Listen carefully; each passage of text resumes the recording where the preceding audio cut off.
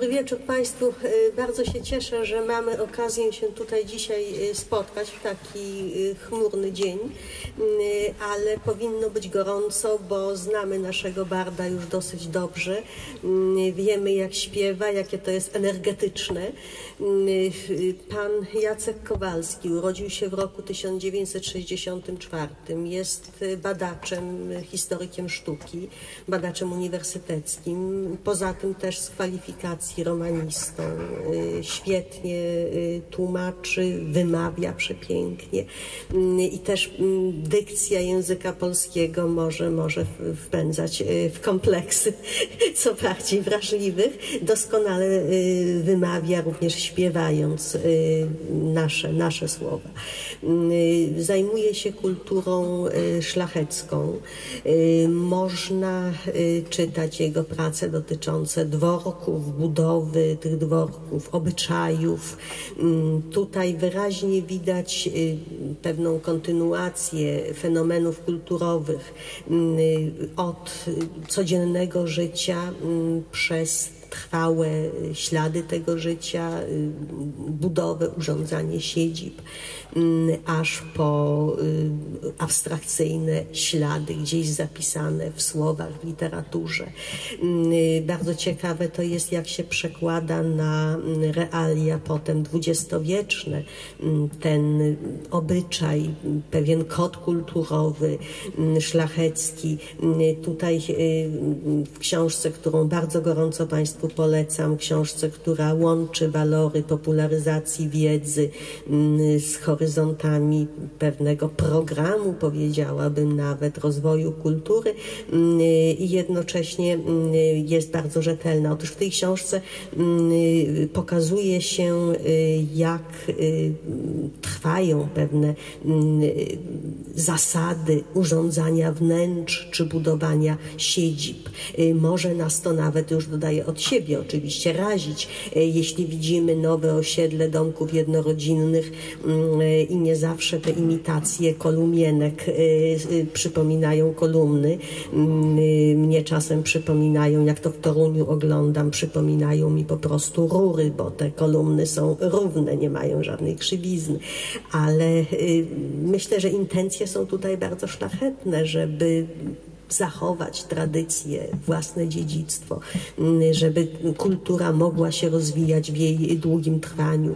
Zwraca też uwagę pan Jacek Kowalski na urządzanie wnętrz. Jeżeli mamy jakiś powtarzający się w wielu domach przez pokolenia model, to to jest ten model, w którym y, często się widzi nad łóżkiem wschodni kilim i jeszcze jakieś skrzyżowane szable. Mnie tu przychodzą oczywiście przekornie do głowy też takie skojarzenia, że mm, czasem nawet jak y, polityk dawnej partii mm, robotniczej, Polskiej Zjednoczonej Partii Robotniczej, chyba członek Komitetu Centralnego, y, dostaje prezent składkowy od swoich gości, to tym prezentem może być obraz Kossaka. Czyli paradoksalnie jest to kultywowanie tej tradycji nawet przez y, środowisko krystalizujące się kiedyś wokół odrzucania takich takich y, klasowych przesądów i przywilejów, no ale to jest ten mechanizm, który y, znamy przecież w wielu krajach, że jeżeli mm, y, nawet ktoś ze środowisk zaniedbanych, nieuprzywilejowanych awansował, to zaczynał upodabniać swoje gusta do, do tych mm, znienawidzonych przedtem klas posiadających. No ale to tak zupełnie na marginesie. Mam nadzieję, że z przyjemnością dzisiaj będziemy słuchali śpiewania. Ja mam zaznaczone kilka fragmentów fragmentów mm, nie potrafię oczywiście Państwa tutaj y, oszacować y, procentowo, kto jest y, polonistą z zawodu, kto historykiem, kto się czym interesuje. Mm, tak oczywiście egoistycznie, wiedząc też, że część z Państwa jest polonistami. Powiem, że tutaj kilkakrotnie znajdziemy odniesienia do prac akademickich, polonistów, do przede wszystkim wielokrotnie Krzysztofa Kellera, związanego i z Krakowem, i, i, i z Warszawą, badacza literatury literatury staropolskiej, a zarazem gościa pieśniarzy, mm, poety mm, i do prac Andrzeja Waśki związanego z Uniwersytetem Jagiellońskim, który myślał o takim fenomenie jak neosarmatyzm. Tutaj nawet w słowniku sarmatyzmu jest jego hasło neosarmatyzm. Wydał książkę romantyczny sarmatyzm i w taki pozytywny sposób próbował przewartościować to, co wielu z nas wspomina ze szkoły jako zwykłe narzekania na szlacheckie warcholstwo. Ten piękny tytuł na okładce mówi jednak coś innego. To nie jest książka na temat sarmatyzmu, to jest książka o sarmacji i obala mity dotyczące tej sarmacji. Czy zechciałby nam autor y, uchylić rąbka tajemnicy, jakie mity tutaj obali? Oczywiście w spisie treści Państwo też to znają, jest bardzo przejrzyste, także można szukać do polemik od razu argumentów, ale może tak tytułem zaciekawienia y, prosiłabym o parę słów.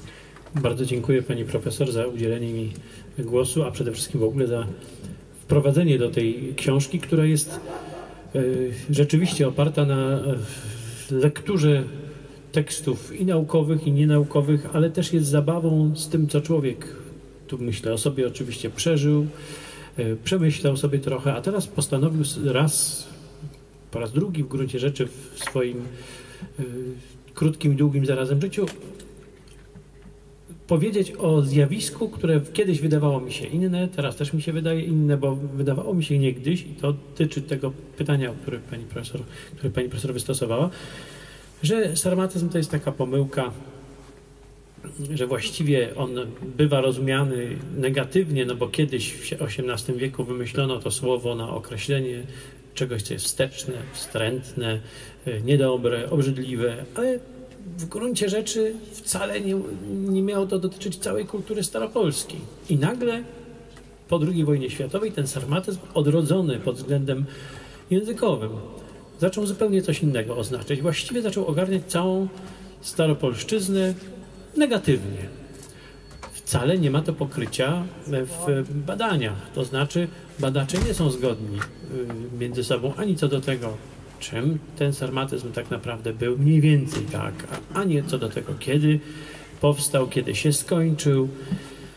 Y, wreszcie także co do tego, czy on ma być postrzegany negatywnie, no a jeśli się na przykład zarzuca kult relikwii y, sarmatyzmowi, czyli wyznawcom sarmatyzmu, no to czy to jest y, zarzut poważny, albo zamknięty, katolicyzm zamknięty, a nie otwarty, no to są zarzuty czysto publicystyczne, które mogą być pozytywne, mogą być y, negatywnie postrzegane przez pewien krąg ludzi. I otóż pierwsza sprawa to ten mit, który staram się nie tyle obalić, wyświetlić, bo dla osób zorientowanych w problemie to rzecz jest w miarę oczywista. E, że sarmatyzm to jest termin, który mówi o e, zjawisku kulturowym niejednoznacznym i że nie można mówić jednoznacznie negatywnie, ani rozumieć tego terminu jednoznacznie negatywnie. Badacze co do tego się zgadzają, ale nagle okazuje się, że potrzeba o tym mówić dalej, ponieważ w latach od 2005 roku mniej więcej termin odrodził się w publicystyce. I tak bardzo nie zajmują się nim właściwie już badacze literatury dawnej, ile współcześni, znaczy poliniści od współczesnej literatury, kulturoznawcy, którzy nagle znaleźli w tym terminie coś, czego mogą się uchwycić, żeby atakować polską kulturę tradycyjną. Tak można by w dużym skrócie powiedzieć. Do, gdzie tu jest mit? No właśnie, mitem jest to, jak jest co to ma być, w ogóle ten sarmatyzm ma jakieś takie dziwne konotacje. Więc, żeby obalić ten mit, trzeba pokazać, jak on powstał, co on oznaczał, co oznaczał termin, z którym się ten mit wiąże. No i właściwie y, cały czas w tej książce pojawia się w nawiasie y, przy użyciu słowa sarmatyzm w nawiasie, który, jak uważam, nie istnieje albo czego w gruncie rzeczy nie ma. Bo gdybym tego nie, y, nie wkładał w nawias, to podejrzewam, że czytelnicy przyjęliby termin sarmatyzm, ponieważ to jest powszechnie używany termin. Usiłuję go odrzucić z takim przeświadczeniem, że się tego nie da zrobić. To jest taki duży mit, powiedziałbym.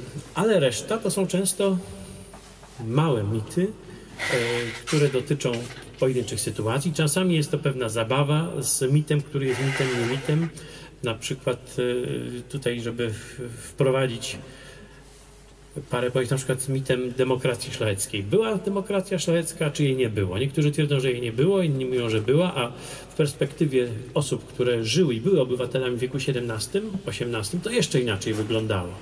Dla pewnych y, pokoleń szlachty bycie demokratą, gdyby ktoś go nazwał demokratą, to byłaby obelga.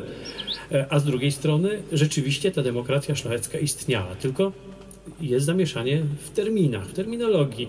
E, I tutaj postanowiłem to opisać, uznałem to za bardzo ciekawy e, taki przypadek, żeby wskazać, jak ten termin właściwie jest nadużywany i używany. E, kojarzycie Państwo też zapewne powiedzenie koń, jaki jest? Każdy widzi. Otóż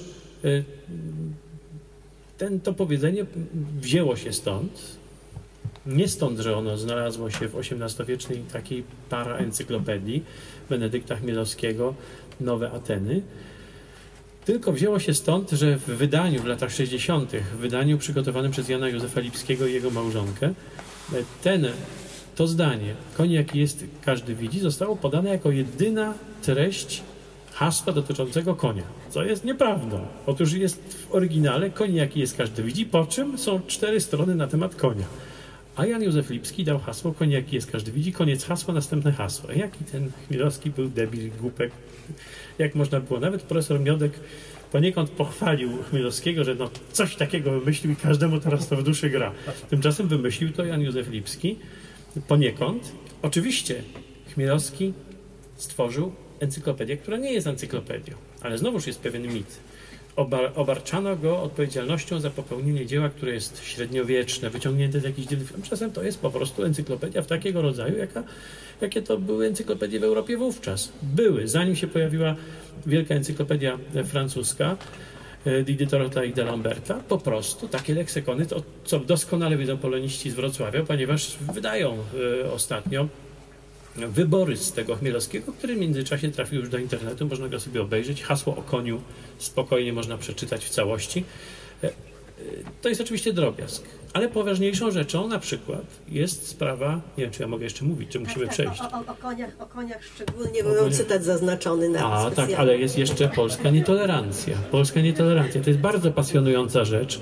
Nie jestem niestety tutaj zostałem skomplementowany jako badacz. No jestem takim badaczem trochę, y, powiedziałbym, no historykiem sztuki jednak, miłośnikiem kultury staropolskiej i pewnie w jakichś y, drobnych zakresach jestem badaczem, tak? To można powiedzieć, że jestem jednak miłośnikiem i to są po części gawędy oparte na lekturze, rzecz jasna i rzeczywiście niekiedy na badaniach, ale przeważnie na lekturze. I teraz sprawa tolerancji polskiej i nietolerancji. Czy w XVIII wieku w Polsce panowała nietolerancja?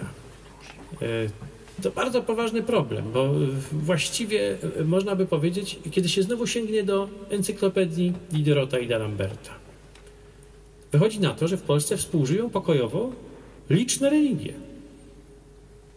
Plus jeszcze protestanci, których z Francji wygnano, a, a u nas oni wszyscy żyją. Tylko, że w Europie już się zaczynał ten etap, powiedzmy, kultury, na którym chwali się tolerancję, a w Polsce tolerowano protestantów, nie mieli pełnych praw i tak mieli ich więcej niż w sąsiednich krajach innowiercy, inni, katolicy w niektórych krajach, gdzie niegdzie w ogóle mieli więcej praw, mowa o szlachcie innowierczej niż jakakolwiek szlachta w naszych, u naszych sąsiednich e, ościennych, ościennych państwach. Ale z drugiej strony otwarcie mówiło się, że nie chcemy Żydów, protestantów, Bielowski to pisze. Problem polegał na tym, że można było sobie tak pisać, a obowiązywała Konfederacja Warszawska i po prostu żaden Kalwin polski nie został zmuszony do rezygnacji ze swojej religii prawnie. Nie było to możliwe. Nie było to możliwe i to się nigdy nie stało. I to sami badacze, niekiedy wyznający też e, inne wyznania chrześcijańskie niż katolickie, zagłębiające się w wiek XVIII, pokazują. Oczywiście z dużym krytycyzmem wobec poglądów katolików polskich w wieku XVIII, którzy nie cierpieli protestantów. Ale co z tego, kiedy współżyli z nimi i to bardzo dobrze. Natomiast nie zamierzali tego głosić przem i wobec. Y, I to jest między innymi jedna z cech kultury polskiej XVIII wieku, która wyłamywała się zupełnie z Europy, programowo nastawionej na inne fale, zupełnie. Y, zamieściłem tutaj taki rozdział dotyczący y, bardzo przykrego zdarzenia, mianowicie tumultu toruńskiego, który jest dobrze zbadany, dobrze opisany więc nie musiałem się wcale tutaj zagłębiać w historię za bardzo. Natomiast wystarczyło mi otworzyć jedną ze współczesnych książek, poświęconych współczesnym, poświęconych XVIII wiekowi, pisaną przez dobrego specjalistę, który jednakowoż nie jest historykiem. Książka dotyczyła innej dziedziny polskiej kultury, ale zaczynając rozdział o XVIII wieku, zacytował informację, że ścięto burmistrza i dziesięciu radnych w związku z tumultem toruńskim. Jeszcze napisał parę innych rzeczy. Otóż to jest nieprawda. To jest e, akurat e, informacja, którą rozpowszechniano w XVIII wieku jako taką fałszywkę. E, bo nie jest ścięto radnych.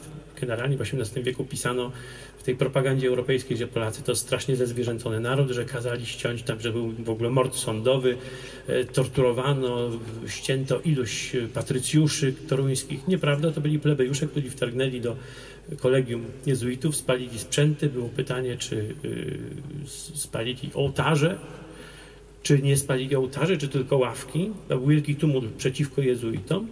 I proces odbywał się bez tortur, proces odbywał się powiem, lege artis całkowicie. Inna rzecz, że Toruń miał jako miasto, chciał storpedować ten proces, bo wydawało mu się, że może proceduralnie, jakby nie uczestnicząc w procesie, sabotując go, doprowadzić do niwelacji tego. To się nie udało. Zapłacił głową burmistrz, który był odpowiedzialny za spokój w mieście i dziesięciu plebejuszy. Jeden został ułaskawiony burmistrz. Straszna historia w wieku, w którym zasadniczo w Europie już takich rzeczy się nie robiło, ale to było wszystko prawnie doskonale umotywowane. Proces trwał, dobrze opisany. I to jest jedno z takich wydarzeń, które jest przykre, jest niedobre, można powiedzieć, charakteryzuje rzeczywiście polską niechęć też do protestantów i wzajemną niechęć protestantów do katolików w tamtym czasie. Ale e, zafunkcjonowało jako straszna zbrodnia, e, można powiedzieć, zbrodnia sądowa sarmatów.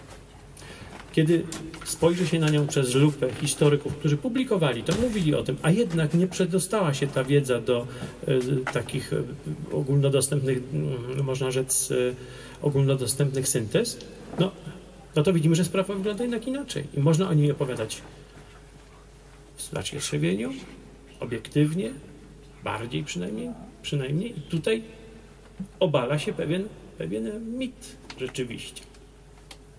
I są różne drobne historyjki, e, które są mniej może istotne, czasami wydają mi się zabawne, e, tak trochę zawsze pod włos, które też nazywam zabobonami. Także rozpiętość tych problemów jest różnej, różna, e, duża, są różnej wagi rzeczy w książeczce. Y, te zabobony to y, przypominają mi modną y, za naszych studenckich czasów książkę 100 zabobonów.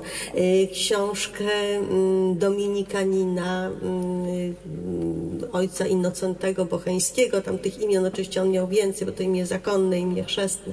Także mogą go Państwo też znać jako Józefa Marię Bocheńskiego, mm, filozofa to wydawało się takie oczywiste i pewne, że jeżeli już jakieś zabobony odczaruje ojciec Bocheński, już zawsze tak będzie. Tutaj oczywiście pewne pojęcia, które padają w książce, może właśnie i te, które termin sarmacja próbuje lepiej określić, nazywają czasem znawcy semantyki historycznej temporalnymi pojęciami kompensacyjnymi. To jest parokrotnie powtarzane y, sformułowanie y, w dziele mm, Dzieje pojęć Reinharda Kozeleka. I to są właśnie te pojęcia, którym nadajemy różne treści w historii. Czasem publicystycznie bywają waloryzowane w sposób jakiś mm, niesprawiedliwy. Tak już mówiąc złośliwie, to się czasem wydaje, że są jakieś manipulacje pojęciowe. To jest na przykład nacjonalizm, bardzo niebezpieczne słowo. Ja w ogóle dlatego sięgnęłam ostatnio do, do Reinharda Kozeleka, na świeżo, żeby się jakoś uzbroić y, do, do y, dyskusji na temat nacjonalizmu. Mm, wydaje mi się, że, że czasem bardzo niesprawiedliwie traktowanego, y, ale to jest też pojęcie demokracji, to jest pojęcie patriotyzmu. Mm, wydaje mi się, że Pan tutaj szuka nowego języka, którym można byłoby mówić o sprawach fundujących historycznie naszą wspólnotę narodową, a jednocześnie byłby to język, którego nie da się tak łatwo mm, wplątać w jakieś doraźne y, konflikty. Mnie bardzo pociąga idea republikanizmu. Wydaje mi się, że czasami nawet nasi y, publicyści, którzy szermują pojęciem narodu czy jakimiś pokrewnymi, w gruncie rzeczy mówią tak dlatego, żeby podgrzać atmosferę, a właściwie marzą o wspólnocie republikańskiej. Tak myślę o, o Ziemkiewiczu, że cokolwiek on by deklarował, to dla mnie to jest republikanin.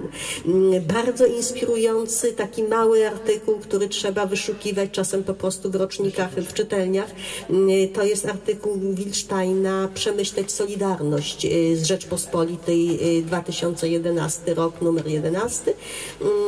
I tam się mówi po prostu, co mnie akurat przekonuje, no ale może to jest dar y, y, retoryczny y, autora, mm, że Solidarność była republikańska, że ten ruch Solidarności był republikański. Co pan myśli o republikanizmie? Czy to jest też taki worek, w który wszystko można wrzucić? Czy to jest precyzyjne pojęcie, dobre pojęcie? No, można wrzucić na pewno wiele rzeczy, ale z drugiej strony mnie się to po prostu kojarzy z dziedzictwem staropolskim, bo republikanci, republikanie to właśnie późni sarmaci, którzy się ocie, znaczy oni się starli trochę z Konstytucją 3 maja, z królem Stasiem, ale generalnie to jest coś, co brzmi dla mnie tak jak przedłużenie tradycji staropolskiej. Tak jest. I to jest prze, przezabawne, że z tym się zgadzam i nie zgadzam, bo to trudno się zgodzić z czymś, co nie ma podstaw, powiedziałbym, takich biologicznie źródłowych, że Solidarność była odrodzeniem się społeczeństwa tego czy szlacheckiego, czy takie nazwiemy, czy to jest odrodzenie się, czy to jest pojawienie się podobnego zjawiska. Zestawiłem tutaj Solidarność z Konfederacją. Nie pierwszy, bo i Wilsztejn zestawiał, i Michnik zestawiał, i e, niegdysiejszy szef e, Trybunału, czyli E, magister Stępień, e, również zestawiał i to silnie ja go tutaj cytuję. Zostawiłem ten cytat, mimo że książka ukazuje się akurat w momencie, kiedy jest, mogłoby to być napiętnowaniem bądź odwrotnie pana Stępnia, ale rzeczywiście bardzo to brzmi. To, że e, robotnicy w 80 roku właściwie stanowili w całym kraju grupę taką, jak konfederaci w wieku XVIII i XVII. No, to, to nie znaczy, że to był bunt, chociaż był, bo on był osadzony legal, w legalnych strukturach, które nie były sprecyzowane prawem wówczas, prawda? Było wiadomo, że trzeba coś zrobić, że to jest legalne, że my się odwołujemy do prawa, ale odwołujemy się w momencie, kiedy prawo nie funkcjonuje tak, jakby należało, że nie funkcjonuje Sejm, nie funkcjonuje wojsko. Trzeba w związku z tym stworzyć strukturę, która je zastąpi, ale nie po to, żeby przejąć tę władzę, tylko żeby spowodować, żeby to wszystko z powrotem na właściwe tory się e, wtoczyło. I to faktycznie i wówczas, i teraz ma coś takiego niesamowitego w sobie, czego zwornikiem jest tutaj uczyniona e, pewnego rodzaju mm, refrenem samego początku książki, tak zwana konfederatka, to znaczy pieśń konfederatów słowackiego, uznawana przez wielu za e, śpiewających, którzy nie, nie, nie znają tej pieśni skądinąd, jako za prawdziwą pieśń konfederatów która się spopularyzowała w latach 70. troszkę, ale wypłynęła w momencie, kiedy nastąpiło spotkanie Jana Pawła II z młodzieżą na skałce w Krakowie. Przez długi czas nie wiedziałem, kiedy to się stało. Ja wtedy słyszałem, śpiewałem sam jako licealista tę książkę, tę, pieśń. W wyniku krótkiego badawczego